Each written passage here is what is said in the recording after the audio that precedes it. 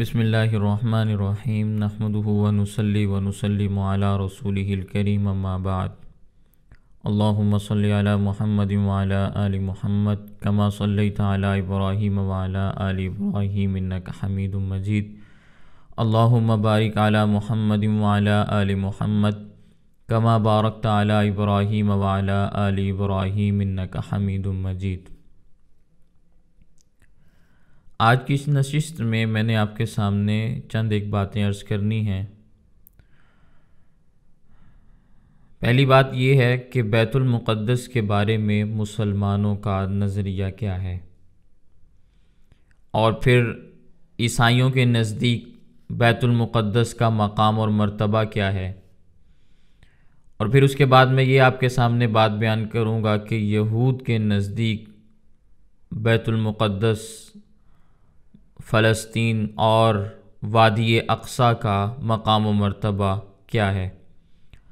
और फिर अर्ज़ फ़लस्तीन के बारे में जो यहूदियों के दावे हैं, उनकी हकीकत मैं आपके सामने आश्कार करना चाहता हूँ।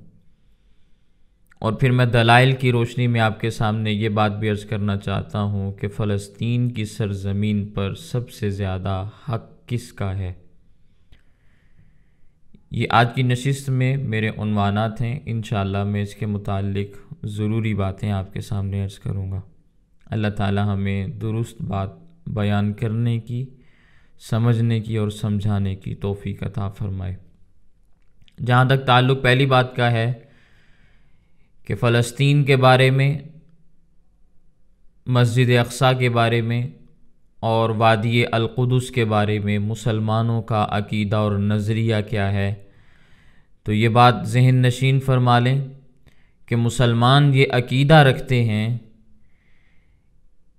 कि सिर्फ़ और सिर्फ़ मुसलमान ही हज़रत दाऊद सलाम हज़रत सुलेमान सलाम और बनी इसराइल के दीगर तमाम अम्बिया और सुलहा के हकीकी और असली वारिस हैं।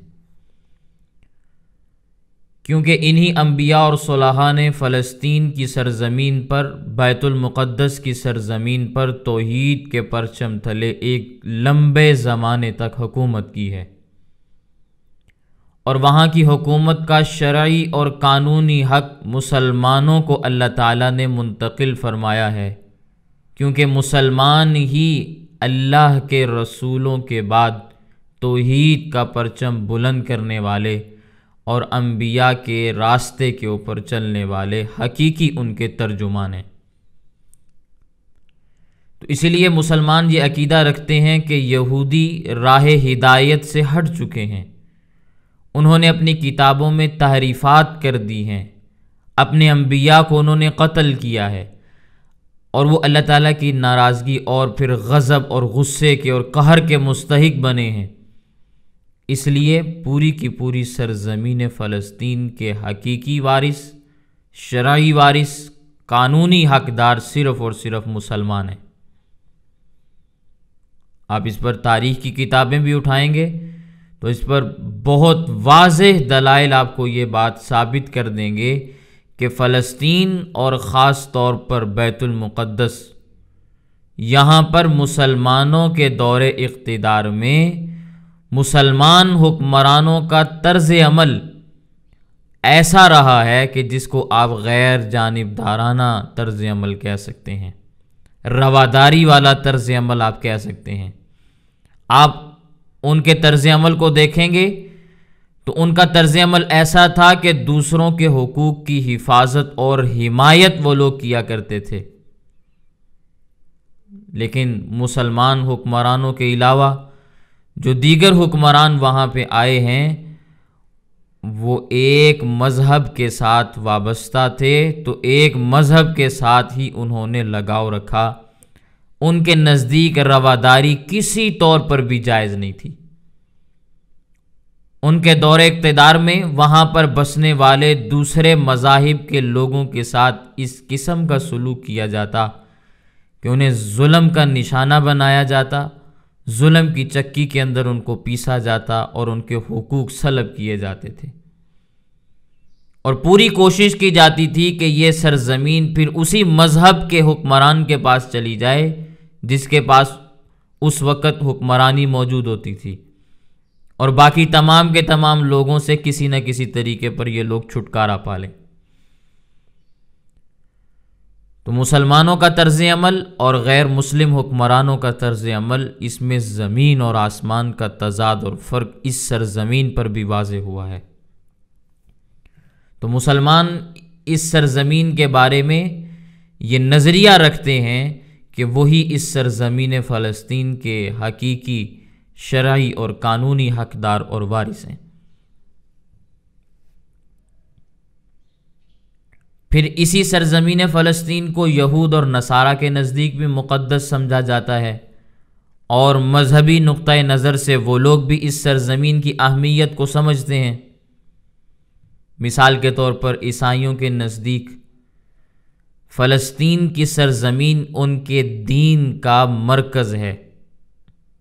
वो उसे अपने दीन का मरकज़ तस्वुर करते हैं, क्योंकि वहीं पर हज़रत सैदना ईसा सलाम की विलादत हुई। वहीं पर उन्होंने दावत और तबलीग का काम किया। वहीं उनके मजहबी मराकज़ भी मौजूद हैं। उनके कदीम तरीन चर्च, जिनके बारे में वो ये अकीदा भी रखते हैं, ईसाई मज़हब के मुताबिक कि ईसा सलाम वहाँ मदफून हैं।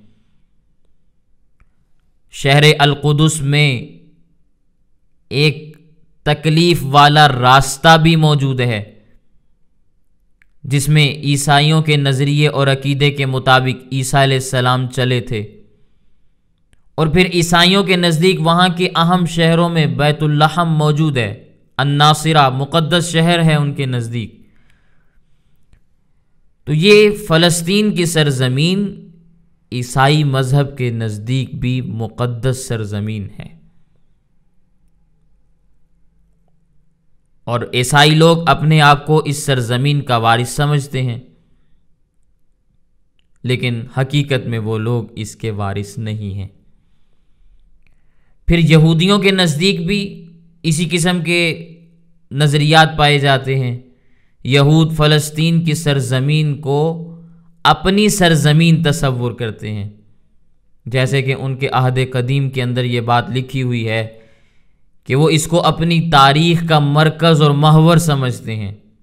अपने अम्बिया का जाय मदफन समझते हैं। यहूदी मज़हब का मरकज़ समझते हैं। और उनके अकायद के मुताबिक वही उनके मज़हब के मुक़दसात का मरकज़ है। ख़ास तौर पर शहर अलकुदस और शहर अलखलील। ये यहूदियों के नज़दीक मुक़दस तरीन शहर शुमार होते हैं। और फ़लस्तीन की सरजमीन के बारे में यहूदियों का ये दावा है कि वो इनका तारीख़ी हक है। वहाँ के असल अरब बाशिंदे उनका हक नहीं है, बल्कि यहूदियों का हक है, उनके नज़रिए के मुताबिक। क्योंकि फ़लस्तीनी बाशिंदों ने फ़लस्तीन की सरजमीन को बनी इसराइल की ममलिकत दाऊद के क़याम से 1500 साल पहले आबाद रखा। और वो उस सल्तनत के दरमियान में भी आबाद रहे। और फिर उस वक़्त भी जब यहूद का इस सरजमीन से रबता ख़त्म हुआ, आज तक फ़लस्तीनी मुसलमान वहाँ पे आबाद हैं। लेकिन इसके बावजूद भी यहूदी उनको वहाँ का हकीकी वारिस नहीं तस्वुर करते। बल्कि अपने बारे में ये कहते हैं कि हम वहाँ के हकीकी वारिस हैं। और यहूदियों ने फ़लस्तीन के बाद इलाकों पर भी तकरीबन चार सदियों तक हुकूमत की है। मैं आपके सामने ये बात अर्ज़ करूँगा कि फ़लस्तीन के कुछ इलाकों पर यहूदियों की हुकूमत कायम हुई। और उनकी हुकूमत भी वैसे ही ख़त्म हुई जैसे दीगर अकवाम की हुकूमतें वहाँ पर ख़त्म हुई। जिनमें आशूरी हुक्मरान भी थे, फ़ारसी ईरानी हुक्मरान भी थे, मिस्र के फ़िरौन भी शामिल थे, रूमी और अफ्रीकी भी उसमें आते हैं जिन्होंने वहाँ हुकूमतें की। लेकिन फ़लस्तीनी कौम हमेशा अपनी सरजमीन पर आबाद रही है। फ़लस्तीन में मुसलमानों का दौर हुकूमत सबसे तवील तरीन दौर हुकूमत है। जो ईसाई दौरे हुकूमत के 90 साल को छोड़कर तकरीबन 1200 साल तक तसलसल के साथ चला है। अमली तौर पर यहूदियों का ताल्लुक फ़लस्तीन के साथ तकरीबन तकरीबन 1800 साल तक बिल्कुल ख़त्म रहा है। उनका वहाँ सियासी, तहजीबी किसी किस्म का कोई अमल दखल नहीं रहा, बल्कि उनकी मजहबी तालीमत के मुताबिक भी उनको वहाँ पर वापस आना हराम करार दे दिया गया था। तकरीबन 80 फ़ीसद यहूदियों का तारीख़ी एतबार से फ़लस्तीन से कोई ताल्लुक़ साबित नहीं होता। ख़ुद यहूदियों के बहुत मरूफ किस्म के मुसनफ़िन की तहकीकात इस बात को साबित करती हैं। इसी तरह उनका कौमी और नस्ली एतबार से भी बनी इसराइल से कोई ताल्लुक़ नहीं है, क्योंकि मौजूदा दौर के जो यहूदी हैं, उनकी अक्सरियत का ताल्लुक़ जिस यहूदी नस्ल के साथ है, वो अशकनाज है, और ये तातारी कबाइल हैं जो कोकाज के शमाल में किसी दौर के अंदर आबाद हुआ करते थे। और उन्होंने आठवीं सदी ईसवी के अंदर यहूदियत इख्तियार की थी। अगर इन यहूद को अपने वतन वापस लौटने का हक दिया भी जाए तो इनको फ़लस्तीन की जानिब फिर नहीं आने दिया जाएगा, बल्कि ये जाएँ अपने असल इलाकों की तरफ़, जो जनूबी रूस की जानब बनते हैं। फिर यहूदियों का यह दावा करना कि उनका फ़लस्तीन से हमेशा से एक गहरा ताल्लुक और रब्त रहा है, ये दावा भी बिल्कुल बेहकीकत और बेबुनियाद है। इसलिए कि बनी इसराइल की अक्सरियत ने मूसा सलाम के साथ अर्ज़ मुक़दस की जानब जाने से इनकार कर दिया था। आप उठाएँ, तारीखी हकायक को खोल के देख लें। इस्लामी हकायक को अगर आप नहीं मानते तो तारीखी हकायक खोल के देख लें कि बनी इसराइल की अक्सरियत वो थी कि जिन्होंने मूसा सलाम के साथ अर्ज़ मुक़दस यानी बैतुल मुक़दस की जानब जाने से इनकार कर दिया था। इसी तरह जब ईरानी बादशाह औरश सानी ने उन्हें दोबारा फ़लस्तीन में बसाने की पेशकश की तो उनकी फिर अक्सरियत ने इराक से वापस जाने से इनकार कर दिया था। आज तक पूरी तारीख में फ़लस्तीन में यहूदियों की तादाद, उनके उरूज के वक़्त भी दुनिया के तमाम यहूदियों की आबादी में से 40 फ़ीसद से भी ज़ायद नहीं बनती, जो वहाँ पे आबाद रही है। तो ये किस बुनियाद पर कहते हैं कि सरजमीन फ़लस्तीन हमारी है, या सरजमीन फ़लस्तीन पर हमारा कब्ज़ा है, या फ़लस्तीन की सरजमीन पर हमारा हक है? किस बुनियाद पर इनका यह दावा दुरुस्त हो सकता है? और इसमें कोई शक व शुबा नहीं है कि फ़लस्तीन में यहूदियों के क़याम का ज़माना बहुत थोड़ा है। बहुत थोड़ा ज़माना है इनका। आप तमाम तहजीबों के दरमियान मुजना करके देख लें। आपको बड़े वाज अंदाज में हकीकत अया होकर आपके सामने आ जाएगी कि बाकी अकवाम के मुकाबले में यहूदियों का ज़माना ज़माना बनता ही नहीं है। फ़लस्तीन में जिन कौमों के इब्तदाई आसार आज हमें मिलते हैं,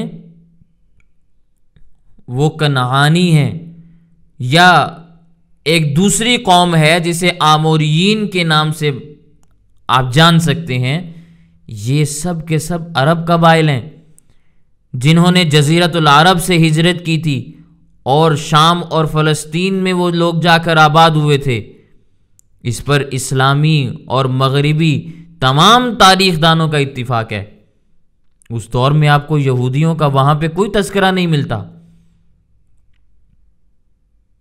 जितने भी उस ज़माने में या उस ज़माने से पहले वहाँ पर कबाइल या कौमें आबाद थीं, वो सारे के सारे अरब थे।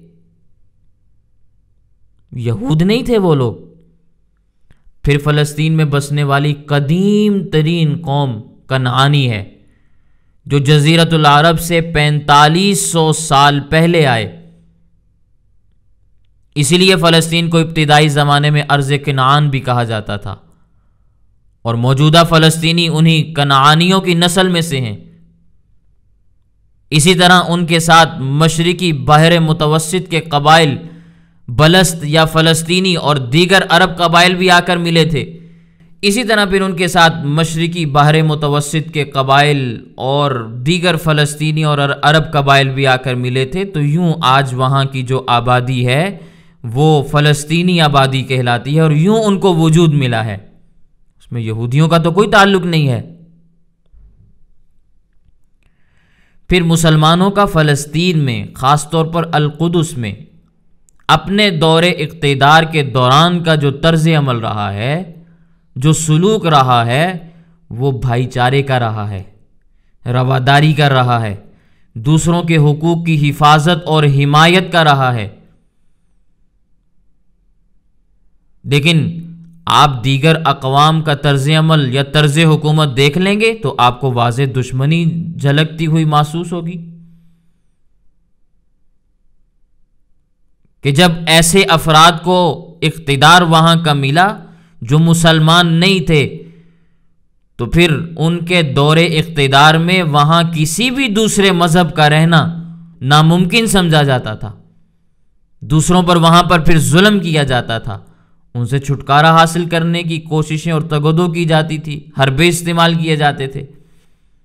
लेकिन इस सब के बावजूद, फ़लस्तीन की सरजमीन में मुसलमानों का ज़माना तवील तरीन और मुसलसल तकरीबन पंद्रहवीं हिजरी से लेकर जब से फ़लस्तीन को फतह किया गया, उसके बाद से लेकर आज तक इस इलाके से इस्लामी तारीख वाबस्ता है। अब इस बात का कोई एतबार नहीं किया जाएगा कि 1948 में जो यहूदियों का, सहयूनियों का कब्ज़ा वहाँ पे हुआ है तो वहाँ के बाशिंदों को ज़बरदस्ती वहाँ के एक हिस्से से निकाला गया है। फ़लस्तीन के बारे में यहूदियों के तारीखी हक के दावे, मुसलमान अरबों के हक के सामने ज़मीन बोस हो जाते हैं। फ़लस्तीन के हकीकी बाशिंदों ने इस सरजमीन को बनी इसराइल की हकूमत, यानी ममलिकत दाऊद सलाम के क़याम से 1500 साल पहले आबाद किया था। और फिर ममलिकत दाऊद के दौरान भी, फिर उसके बाद भी वहाँ मुसलसल आबाद रहे और दाऊद सलाम की ममलिकत भी तो दीन हक की बुनियाद पर कायम थी ना? जिसमें बाद में यहूदियों ने तारीफ़ की और उसको बदल डाला। तो यहूद ने फ़लस्तीन के बाज़ अज्जा पर तकरीबन चार सदियों तक हुकूमत की है। इससे ज़्यादा नहीं की, तकरीबन चार सदियाँ बनती हैं। और इनकी हुकूमत भी आशोराइयों, फ़ारसियों और फ़िरौन, मिस्र के फ़िरौनों और रूमियों की तरह जवाल का शिकार हुई, जिस तरह वो लोग जवाल का शिकार हुए। लेकिन फलस्तीनी कौम हमेशा उस सरजमीन के ऊपर बाकी रही है। और फिर इस्लामी दौर हकूमत तवील तरीन दौर रहा है वहाँ का। तकरीबन 1200 साल तक 1200 साल तक वहाँ पर मुसलमानों का दौर हकूमत रहा। दरमियान में सिलीबियों के तकरीबन कोई नबे साल बनते हैं, उनका दौर हुकूमत आया है। लेकिन तसलसल के साथ लंबा तरीन दौर हुकूमत मुसलमानों का 1200 साल तक उस सरजमीन पर रहा है। अमली तौर पर फ़लस्तीन से यहूदियों का ताल्लुक आप यकीन करें कि 1800 साल तक मुनक़ रहा है। वहाँ फिर उनका कोई सियासी, कोई तहजीबी तमदनी किसी किस्म का वजूद नहीं था। बल्कि उनकी मजहबी तालीमत के मुताबिक भी उनको वहाँ लौटने की, वापस जाने की इजाज़त नहीं थी। ममनू करार दे दिया गया था। अगर मैं आपके सामने फ़लस्तीन में हुकूमत करने वाली मुख्तलिफ़ कौमों के दौरे इकतदार का खाका पेश करूँ तो आपको ये बात बड़े अच्छे तरीके से समझ में आएगी कि बनी इसराइल की हुकूमत रही है तकरीबन 418 साल। 418 साल तक यहूदियों की वहाँ पे हुकूमत रही है। लेकिन वो हुकूमत जवाल का शिकार हुई। फिर इराकियों की हुकूमत आई। सैंतालीस साल तकरीबन उनकी हुकूमत रही। फिर ईरानियों की, फ़ारसियों की हुकूमत आई। तकरीबन 207 साल तक ईरानी, फ़ारसी वहाँ पे हुकूमत करते रहे। और फिर अगरी की हुकूमत आई। 26 साल तक उन लोगों ने हुकूमत की। फिर रोमानी हुकूमत आई। तकरीबन 700 साल तक वो लोग हुकूमत करते रहे। फिर इस्लामी दौर हुकूमत आया। और 1200 साल से जायद 1200 साल से जायद अरसे तक मुसलमानों ने इस सरजमीन के ऊपर हुकूमत की। तो मुसलमानों की इस सरजमीन के ऊपर तारीख सबसे ज़्यादा कदीम भी है सबसे ज़्यादा पायदार भी है, सबसे ज़्यादा मुस्तहकम और मज़बूत भी है, और सबसे बड़े हकदार भी मुसलमान ही इस इलाके के हैं कि सबसे ज़्यादा तवील तरीन दौर हकूमत मुसलमानों को वहाँ नसीब हुआ है। तो यहूदी हों या ईसाई हों, इनका इस सरजमीन के साथ किसी किस्म का कोई ताल्लुक नहीं है। इनके ताल्लुक अगर थे भी तो इनके मजहबी आकाओं ने वो ताल्लुक ख़त्म कर दिए थे और इनके मजाहब के मुताबिक इनके मजहबी अफराद जो इनके मज़हब की बागदौड़ को संभाले हुए हैं, इनके अहबार और रोहबान, उनकी बात मानना इनके नज़दीक लाजिम होता है। तो उनकी तालीमत के मुताबिक इस सरजमीन के साथ अब उनका कोई किसी किस्म का ताल्लुक नहीं है। आज अगर वहाँ पे कब्ज़ा है, यहूदी करें या ईसाई करें, या कोई और तो इन तमाम के कब्ज़े वहाँ पर नाजायज़ शुमार होते हैं। असल उस सरजमीन के हकदार मुसलमान हैं और मुसलमानों को ही वहाँ की सरजमीन मिलनी चाहिए और आज़ादाना हैसियत के साथ मिलनी चाहिए। आज मुसलमान अगर वहाँ पे जिहाद कर रहे हैं, कताल कर रहे हैं, अमलन मैदान में आकर यहूद के ख़िलाफ़ जंग कर रहे हैं तो ये इनका हक है। वो सरजमीन इनकी है, उसके ऊपर नाजायज़ कब्ज़ा किया गया है। यहूदियों को किसी तौर पर भी यह हक हासिल नहीं है कि वो बाहर के इलाकों से आएँ और आकर उस सरजमीन के ऊपर काबिज हो जाएँ। वहाँ के फ़लस्तीनी असली बाशिंदों का उस सरजमीन के ऊपर हकूमत करने का भी इख्तियार है। उस सरजमीन के ऊपर चलने का, ज़िंदा रहने का, ये इख्तियार भी उनको हासिल है। तो आज के ज़माने में तो आज के तो आज के हालात के अतबार से किसी शख्स के जहन के अंदर ये बात ना आए कि हो सकता है कि यहूदियों का भी कोई ना कोई वहाँ पे ताल्लुक़ मौजूद हो। यहूदियों के लिए भी तो वो मुक़दस सरजमीन है। जब वो लोग अपना ताल्लुक़ ख़त्म कर चुके हैं तो अब दोबारा किस मुँह से वहाँ आए हैं?